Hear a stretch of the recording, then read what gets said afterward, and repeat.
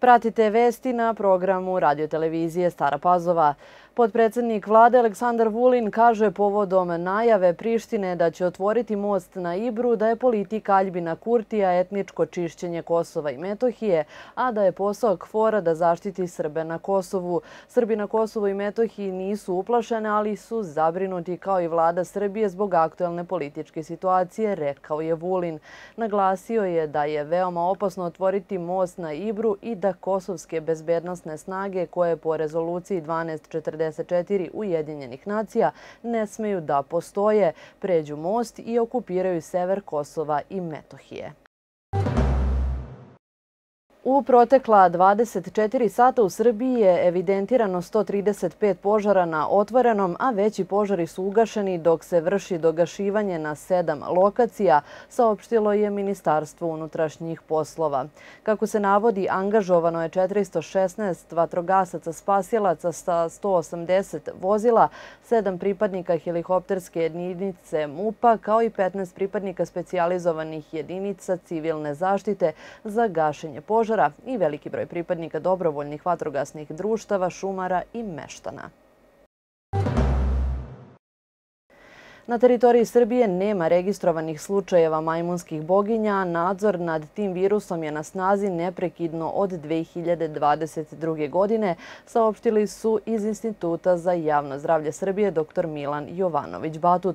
Objasnili su da simptomi obično uključuju povišenu telesnu temperaturu, intenzivnu glavobolju, bolove u mišićima, bolu u leđima, slabost, manjak energije, otečene limfne žlezde, najčešće na vratu, u pazu, pazuhu i ili u preponama i kožni osip ili lezije na koži.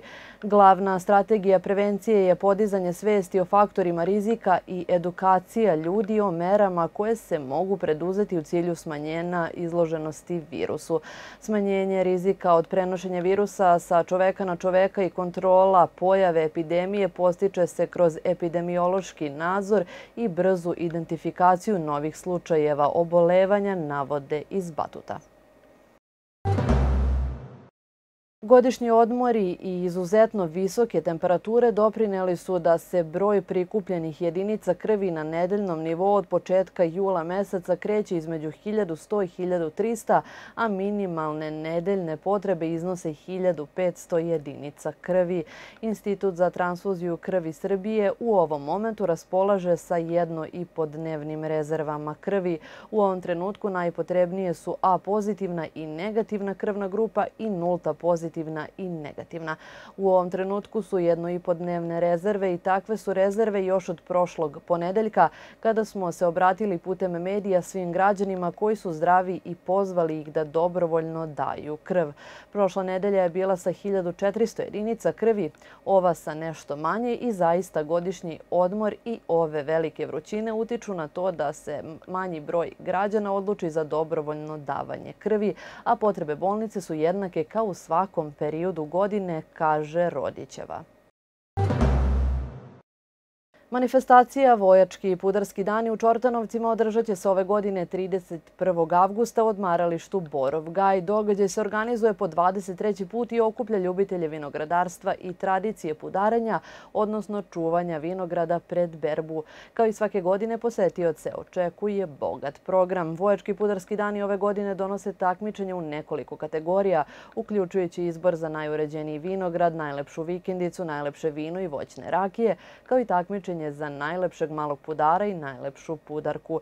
Manifestaciju bi trebalo da upotpuni i dolazak kuda Slavko Gajin iz Vojke, rekao je Petar Dobrodolac iz Udruženja Vojački pudarski dani.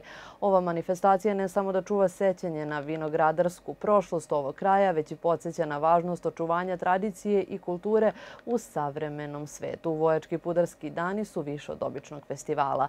Oni su simbol upornosti i ljubavi prema zemlji i tradiciji koja se prenosi sa generacijom generacije na generaciju.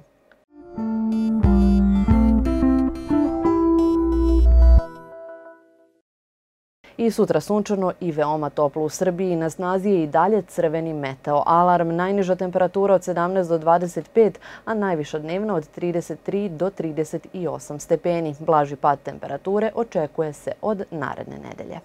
Pratili ste vesti. Hvala vam na pažnji i prijatan vikend.